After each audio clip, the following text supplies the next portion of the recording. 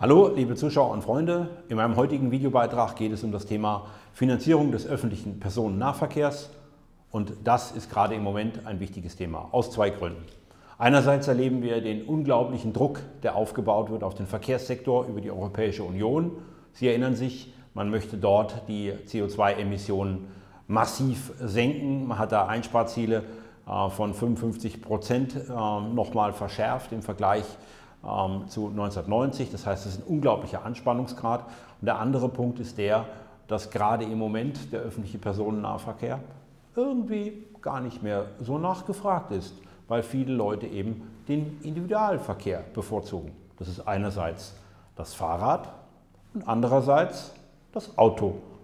Und genau deshalb leidet der öffentliche Personennahverkehr momentan sehr stark finanziell und äh, das ist etwas, was hier eben diskutiert wurde heute von Experten und wie man da rauskommen kann.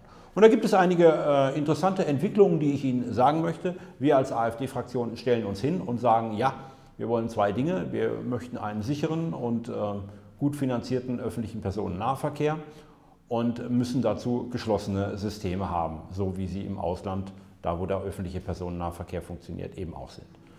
Das haben die Experten heute in dieser Anhörung verneint, dass das nicht das Ziel sei. Die Begründung sei, dass ich es wirtschaftlich nicht rechnen würde, weil die Schäden aus Schwarzfahren nicht so groß sind, dass sich die Investitionskosten in geschlossene Systeme rechnen.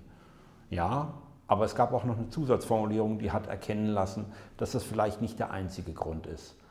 Äh, der Punkt ist vielmehr, dass man hier tatsächlich das Signal setzen möchte, man möchte barrierefreie, frei zugängliche ÖPNV-Systeme, damit der ÖPNV überhaupt angenommen wird.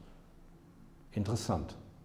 Wie sich die Leute im ÖPNV fühlen, das scheint offensichtlich nicht so wichtig zu sein, wie die Anreizschwelle überhaupt den ÖPNV zu nutzen. Und da sind wir auch bei einem weiteren Thema. Natürlich ist es ein Thema, das vor allen Dingen die ländliche Bevölkerung betrifft. Die spannende Frage ist, kann man den ÖPNV auf dem Land so ausbauen, dass er dort das Auto als Hauptverkehrsmittel ersetzt. Es gibt ja die, äh, das Propagieren der Ziele, der Ausbauziele des ÖPNV. Ähm, da möchte man eine Verdopplung des ÖPNV erreichen. Und äh, das ist uns heute auch wieder erzählt worden. Äh, da hat eine Vertreterin von Verdi ganz klar gesagt, man kann den ÖPNV, die Nutzung des ÖPNV erreichen, Verdopplung des Angebots. Dafür braucht man 10 Milliarden, 10 Milliarden Euro jährlich zusätzlich zu den heutigen Kosten. Gut, nehmen wir mal an, man äh, schickt nun die Züge in der Taktung und die Busse in der Taktung, dass man das jetzt alles viel häufiger macht und auch ins entlegenste Dorf. Was passiert dann? Auch das wurde uns heute erklärt. Es gibt ein Problem des ÖPNV im ländlichen Raum. Die Leute im ländlichen Raum akzeptieren kein Bedarfsangebot. Das ist sehr unpopulär. Die Leute wollen dort auch eine regelmäßige Bus- oder Bahnlinie. Und selbst wenn man das alles macht, selbst wenn man das alles dort auch auf dem Land einführt, hat man ungefähr ein Potenzial von 15 bis 20 Prozent Steigerung. 15 bis 20 Prozent. Postuliert waren 100 Prozent. Das heißt, ich fasse das kurz zusammen, mit diesen Methoden schafft man das Ziel, das Auto im Prinzip auf dem ländlichen Raum zu entlasten oder sagen wir mal so, etwas weniger äh, zu nutzen, das schafft man nicht durch ein Angebot. Und dann fiel ein Wort, das in einer solchen Anhörung einen immer aufhorchen lässt. Wie könnte man denn diese Ziele erreichen?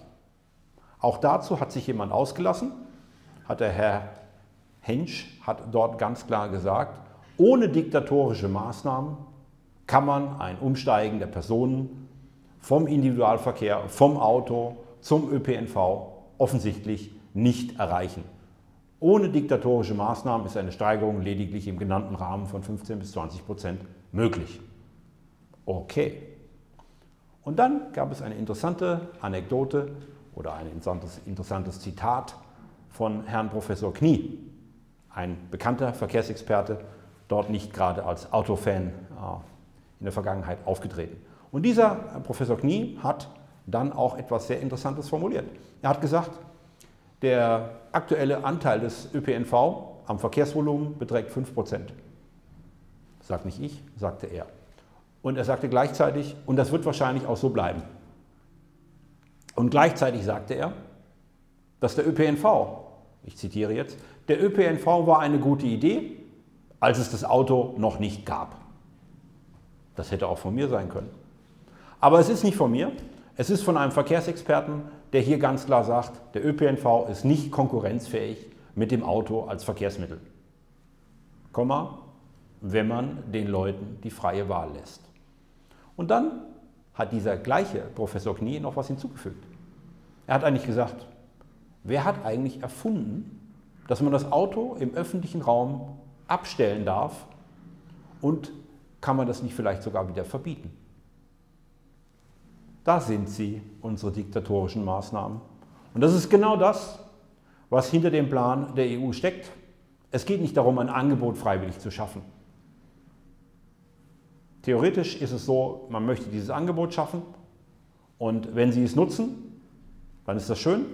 Wenn Sie es nicht nutzen, dann werden Sie dazu gezwungen. Es geht darum, das Auto, im Endeffekt das privat genutzte Automobil, in weiten Teilen zu verbieten und abzuschaffen mit diktatorischen Maßnahmen. Das ist im Grunde genommen der Kern dieser EU-Politik, die auch hier, die auch hier in Deutschland umgesetzt werden soll. Und EU-Politik ist eine, sag ich mal, könnte man sagen, ist eine grün-linke Idee. Nein, ist es nicht. Es ist die EU-Politik der Kommission, die von einer CDU-Frau, Frau von der Leyen, angeführt wird. Und damit ist es auch die Regierungspolitik hier in Deutschland. Und das ist bemerkenswert, das sollten Sie wissen. Es gibt konkrete Pläne, wie das Autofahren immer weiter erschwert wird. Und es gibt sogar Ideen und Vorstellungen, das Auto im öffentlichen Raum, zumindest das Abstellen des Autos im öffentlichen Raum, komplett zu verbieten. Das wollte ich Ihnen mitteilen. Sie können sich auf eins verlassen. Wir kämpfen dagegen. Wir kämpfen für den Erhalt des Automobils. Und das heißt nicht, wir sind gegen den ÖPNV, aber wir wollen, dass Sie die Wahlfreiheit haben. Und das ist das Ziel unserer Politik. Vielen Dank.